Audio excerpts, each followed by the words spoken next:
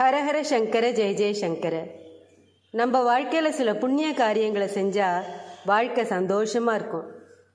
புண்ணியம்னாலே தானம் பண்ணுறதும் தர்மம் பண்ணுறதும் தான் நமக்கு ஞாபகம் வருது. யாராவது நம்மக்கிட்ட வந்து பசின்னு கேட்டு கொடுத்தா அது தானத்துக்கு கீழே வரும்.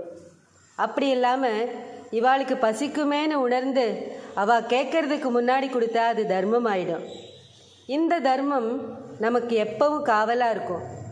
எத்தனை விதமான புண்ணியங்கள் இருக்குது தெரியுமா?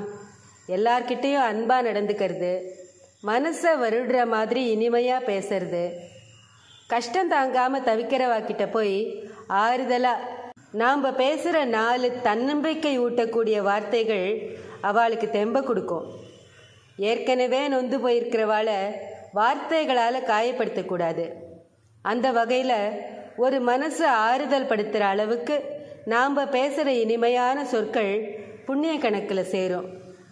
அடுத்தது ஒரு கோவிலில் போய் சாமி கும்பிடுறத விட அந்த கோவிலில் விளக்கு தேய்ச்சி கொடுக்கறது பெருக்கி சுத்தம் பண்ணுறது கோவிலில் பாடுறது இதெல்லாம் புண்ணியத்தை சேர்த்து கொடுக்கும்.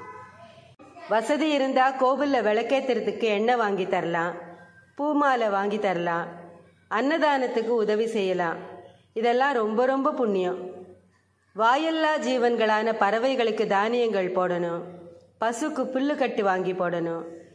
இதெல்லாமாவது ஒரு இடத்துலேருந்து ஒரு இடத்துக்கு நடந்து போகும்.